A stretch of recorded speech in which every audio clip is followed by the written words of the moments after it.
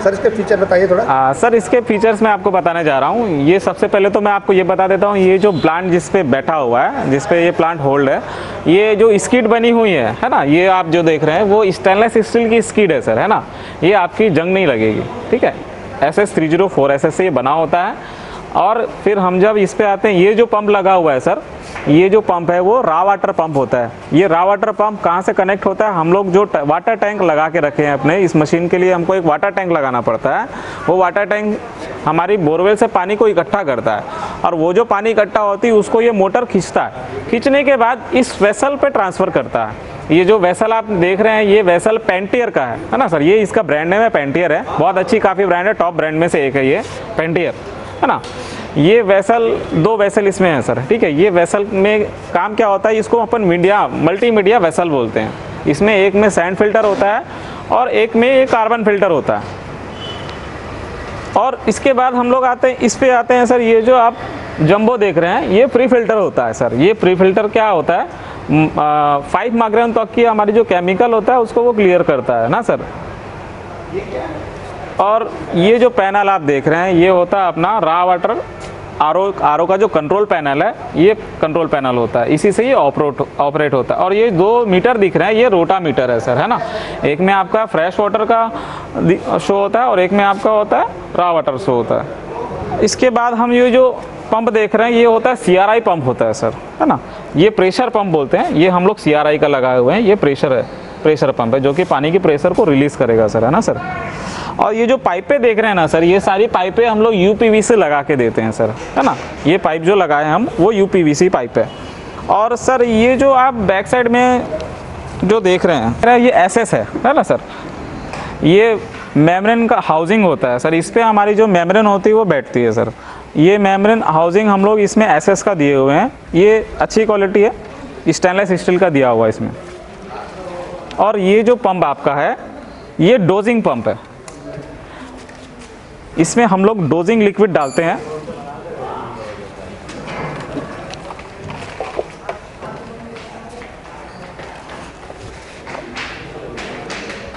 Dosing pump है ये। ये जो पंप आप देख रहे हैं, ये डोजिंग पंप है। और इसमें एक प्लांट और देख रहे हैं आप, ये थोड़ी सी जैसे कस्टमर कॉस्ट ऑप्टिमाइज के लिए बोलता है। जैसे कि हम कुछ प्लांट बोलते हैं, कई लोग कि सस्ता प्लांट चाहिए। तो ये जो प्लांट आप देख रहे होंगे, दोनों कंपेरिजन में आप ये जो प्लांट देख रहे होंगे, सर, अभी मैं उसमें जो आपको बताया था, उसमें जो वैसा मेम्ब्रेन हाउसिंग लगा हुआ था, वो आपका एस का था और ये जो है एफआरपी है प्लास्टिक है है ना? बाकी सारी चीज़ें जो इसमें मैंने पेंटियर की बताई, वो पेंटियर के अलावा ये दूसरी ब्रांड की है है ना? और ये आपका स्टैंड इस सीट वही है। और जो पंप लगा हुआ है सर ये सीआरआई की जगह दूसरा पंप है तो थोड़ी सी हमको कॉस्ट में थोड़ी सी प्राइस ऑप्टिमाइज हो जाती है। दोनों प्लांटों में काफ़ी फ़र्क है। इसका प्राइस क्या है? ये जो प्लांट आती है सर एक पैंतालीस की आती है एक लाख पैंतालीस हज़ार रुपये की।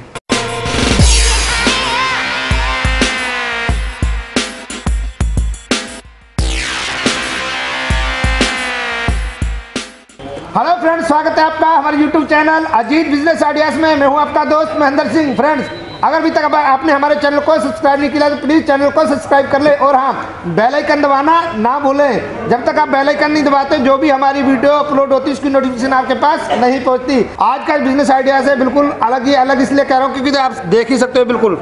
ये आर प्लांट का बिज़नेस आइडिया है। तो फ्रेंड्स ये वाला जो प्रोडक्ट है, इसकी हर पाँच मिनट में डिमांड पड़ती है। कोई भी ऐसा बंदा नहीं होगा जिसको ज़रूरत नहीं पड़ती। क्या जिसकी ज़रूरत नहीं पड़ती? पानी। ये जल ही जीवन है। और ये चाहे सर्दी हो, गर्मी हो, गाँव हो, शहर हो, बच्चा हो, बूढ़ा हो, बीमार हो, चाहे स्वस्थ हो हर आदमी को इसकी ज़रूरत पड़ती है। तो फ्रेंड्स ये बिज़नेस हमेशा के लिए चलने वाला है।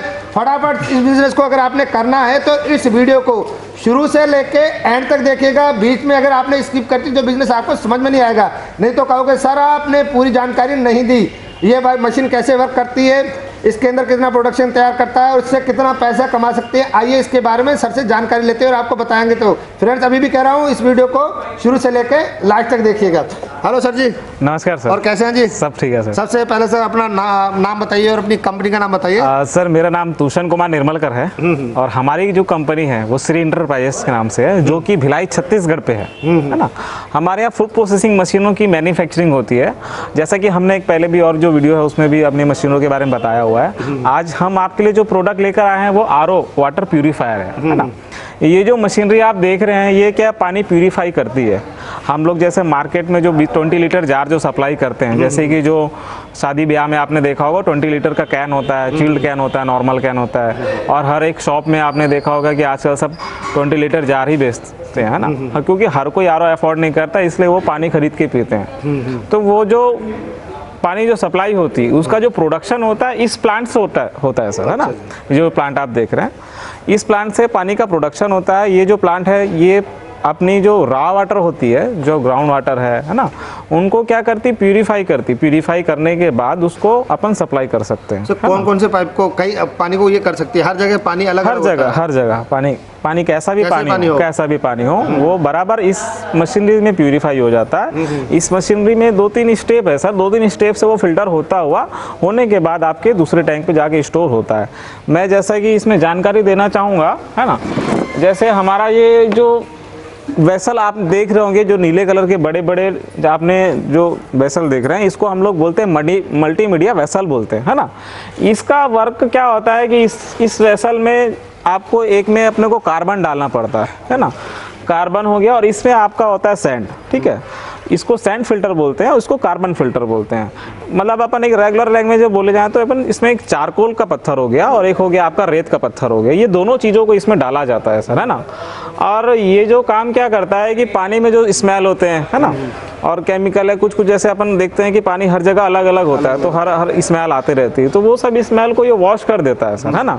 और फिर सेकंड इसका जो प्यूरिफिकेशन का प्रोसेस होता है, आप ये दो नीले कलर के वेसल आप छोटे छोटे ट्यूब देख रहे हैं। इसमें क्या होता है फाइव माइक्रोन तक का जो बैक्टीरिया होता है वो यहाँ से रिमूव हो जाता है। अच्छा। है ना? इस फ़िल्टर में फ़िल्टर होने के बाद रिमूव हो जाता है। फिर वो आपका प्रेशर पंप है। प्रेशर पंप से आपका जो पानी का प्रेशर है वो रिलीज़ होता है। उसके बाद आपका जो लास्ट प्यूरिफिकेशन स्टेप है वो मेमरेन होता है। मेमरेन में फ़िल्टर होने के बाद जो पानी है जो हमारा लाइट वाटर है है ना, वो हमारे दूसरे टैंक पे जाके स्टोर होता है, जिसको हम लोग सप्लाई करते हैं। इस पानी में जैसे हम लोग देखते हैं, जब प्यूरिफाई करते हैं तो पानी क्या होता है हंड्रेड परसेंट अपना जो ग्राउंड लेवल का है सर है ना? ग्राउंड लेवल से जो पानी हुआ, उसमें से 100 परसेंट में अपन लेके चलेंगे तो 30 परसेंट फोर्टी परसेंट जो लाइट वाटर होता है, जो पीने योग्य होता है, वो पानी प्यूरिफाई होता है और वो स्टोर होता है, जिसको हम लोग पीते हैं। सर इस प्लांट को लगाने के लिए कितना अमाउंट लगाना पड़ेगा हमें? इस प्लांट को लगाने के लिए सर ये प्लांट हमारे यहाँ दो वेरिएशन में बनती है। ये जो आप प्लांट देख रहे हैं सर ये एक लाख पैंसठ हज़ार रुपये का है। है ना? ये इसकी प्राइस हम लोग एक लाख पैंसठ हज़ार रुपये में सेल होती है यहाँ पे। तो इस प्लांट को लगाने के लिए क्या हमें किसी लाइसेंस की ज़रूरत पड़ेगी? इस प्लांट को लगाने के लिए हमको कोई भी ऐसा डॉक्यूमेंटेशन लीगल डॉक्यूमेंटेशन की कोई रिक्वायरमेंट नहीं होती है क्योंकि हम जो जार सप्लाई करते हैं वो ओपन बॉटल होता है ना कि पैक्ड होता है। अगर अपन उसमें पैक कर देंगे अपना सील कर देंगे या अपन ब्रांड दे देंगे तो हमको फिर उसमें लीगल वे पे जाना पड़ता है। जैसे अपन एक लीटर का बोतल देखते हैं वो सील पैक होता है। सील पैक होता है वो खुद का ब्रांड हो गया। इस वजह से उसमें लाइसेंस की डिमांड रहती है सर ये डब्बा जो अपन किसी को देते हैं तो विद इन चौबीस से अड़तालीस घंटे बाद ये डब्बा खाली होकर हमारे पास वापस आ जाता है। स्टॉक नहीं होता ये वाटर इस वजह से इसमें लाइसेंस की लाइबिलिटी नहीं आती है। सर अगर कोई नया बिज़नेस करना चाह रहा है मान लो मैं इस बिज़नेस को करना चाह रहा हूँ मैंने प्लांट तो लगा लिया जी। लेकिन कस्टमर कहाँ से लाऊँगा मैं? कस्टमर कहाँ से लाएँगे? तो कस्टमर का सर ऐसा कस्टमर सोर्स हमको जनरेट करना पड़ता है। फ़र्स्ट ऑफ़ फर्स्टली तो हम देखते हैं कि जैसे आपने प्लांट लगाया जो भी नॉर्मल सी बात। आपने लगाया तो आपके फेस वैल्यू से ही आपको जानने वाले इतने सारे लोग मार्केट में निकल जाते हैं कि उनको पता चलेगा कि हमारा संबंधी बिज़नेस चालू किया है वो भी पानी लेना चाहता है वो तो सबसे पहले वो आपके पास आएगा और दूसरा अपन देखेंगे कि इसमें जितने भी कॉम्प्लेक्स हो गया है ना जो कमर्शियल कॉम्प्लेक्स होते हैं दुकानें होती है उनको सबको पानी की नीड होती है। तो वहाँ पर आप जाके एक बार सर्च कर लीजिए कांटेक्ट कर लीजिए कि भी हम पानी सप्लाई करते हैं उनको पानी की नीड रहती है। और दूसरा नियर बाई आपके आसपास सिटी में जितने भी टेंट हाउस होते हैं, है ना? क्योंकि टेंट हाउस वालों का काम ही ये चीज़ है, उन लोग शादी ब्याह में ऑर्डर करते हैं। तो उनको क्या हमेशा ये जार की सप्लाई की ऑर्डर की ज़रूरत पड़ती है। आप सारे टेंट हाउस से कॉन्टेक्ट कर लीजिए। हॉस्पिटल सेक्टर हो गया आपका। इवन डुप्लेक्स हो गया या फ्लैक्स फ्लैट जो हो गया, जितने भी फ्लैट होते हैं फ्लैट सिस्टम में भी सबके सब आजकल इतने रश में है कि उनको आर छोटा आर लगा नहीं सकते लगाते तो मेंटेनेंस ज़्यादा आता है इसलिए वो जार खरीद के पीते हैं। वहाँ पर भी ये चीज़ें सेल होती है सर। सर एक ऐसे भी हो सकता है जैसे हम किसी से तीस रुपए का जग खरीद रहे हैं चालीस का खरीद रहे हैं तो हमें अपना नया बिज़नेस स्टार्ट करना है। तो हमसे पानी वो क्यों खरीदेगा हमें कुछ उससे कुछ कम प्राइस देंगे तभी तो बिल्कुल बिल्कुल। तभी तो हमसे खरीदेगा वो। जी। हम क्या कस्टमर आपको मैं बताना चाहता हूँ कि ये मत सोचो कि अगला अगर 20 का जग दे रहा है 30 का जग दे रहा है तो आप भी उसी रेट में दे कोई बात नहीं दो पैसे आप कम कीजिए। हम्म। जब आपका उनको पानी पसंद आ जाएगा आपकी सर्विस अच्छी लगेगी तो आप भी सेम रेट में वो कर बिल्कुल बिल्कुल जैसे आपने कहा एक चीज़ सर्विस ये बिज़नेस जो है सर हर कोई करता है लेकिन एक्चुअली ये जो मार्केट है सर सिर्फ़ सर्विस ओरिएंटेड बिज़नेस है सर। अगर किसी को टाइम टू टाइम पानी नहीं मिला तो वो आपसे क्यों पानी लेगा? है। उनको सर्विस चाहिए। सर्विस आप अच्छी दोगे तो आप जो रेट भी बोलोगे वो रेट देगा आपको। ये सर्विस ओरिएंटेड बिज़नेस है सर इसलिए हमको हमेशा ख्याल रखना पड़ता है कस्टमर का। जैसे हम शादी का ऑर्डर ले लिए। अब शादी में ऑर्डर है आप समय पर पानी नहीं पहुंचाओगे तो फिर आपकी सर्विस खराब हुई। बिल्कुल सही बात है। तो इस वजह से बस सर्विस अपनी अच्छी रखिए आप। सर इसके लिए पावर सप्लाई कितनी चाहिए फिर इसके लिए? पावर सप्लाई सर इसमें अपने को सिंगल फेस ऑपरेटेड है ये। ये जो मशीन हमने बनाया हुआ है ये आर की मशीन टोटल हमको ढाई एच की बिजली कंज्यूम करती है है ना?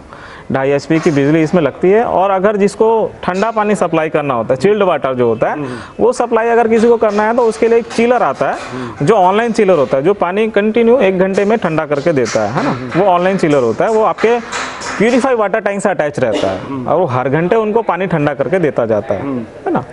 तो सर एक बार ये प्लांट अगर अभी इसको लगाते हैं तो इसके जो कार्टर इसके अंदर फ़िल्टर है वो कितना पानी साफ़ कर सकते हो और कितने दिनों तक इनको बदलना पड़ता है? जी जी जी। तो जैसे आ, ये जो फ़िल्टर है आपका प्री फ़िल्टर बोलते हैं हम लोग। ये जो आप नीले कलर के जो फ़िल्टर देख रहे हैं ये प्री फ़िल्टर है। इसमें सर एक प्री फ़िल्टर लगा है।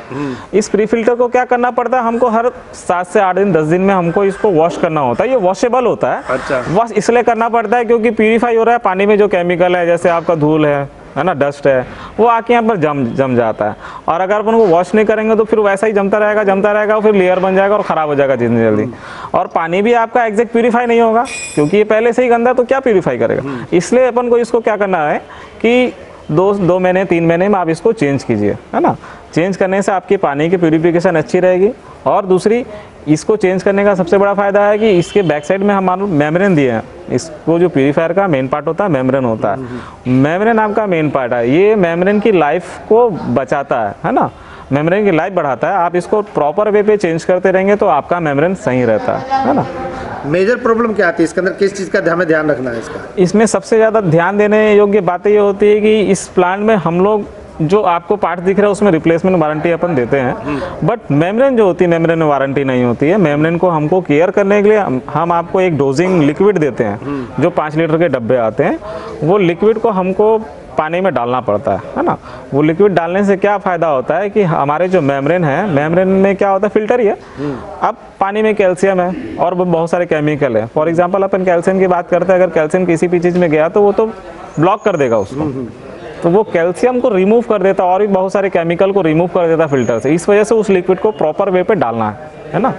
और दूसरा इस पीपी फ़िल्टर को चेंज करना है दो से तीन महीने में। ये दो आपको मैनेजमेंट हमेशा ध्यान देना है कि ये दोनों चीज़ को आप प्रॉपर वे पे करते रहेंगे तो आपका प्लान लॉन्ग लाइफ चलेगा। सर इस प्लांट को लगाने के लिए हमें कितना स्पेस की ज़रूरत है? इस प्लान को लगाने के लिए हमको सर एक छोटा कमरा चाहिए रहता है दस बाई पंद्रह या दस बाई बीस का एक छोटा हमको कमरा चाहिए रहता है। वहाँ पर ये प्लांट आसानी से आ जाता है। तो इसको इसको प्लांट को लगाने के लिए क्या किसी ट्रेनिंग की भी ज़रूरत पड़ती है क्या?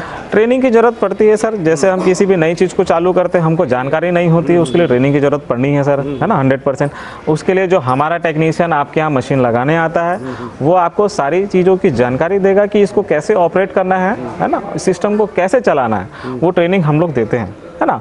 और तो और हम जब भी यहाँ से जाते हैं, हमारा टेक्नीशियन जो जाता है, वो कस्टमर के मोबाइल पे ही कस्टमर को वीडियो बनवाता है कि, सर, इसको ऑपरेट कैसे करना है? वो वहाँ पर वो सारी जानकारी देगा। वो वीडियो रिकॉर्ड हम हमेशा कस्टमर को दे देते हैं। उससे फ़ायदा क्या होता है ना, सर?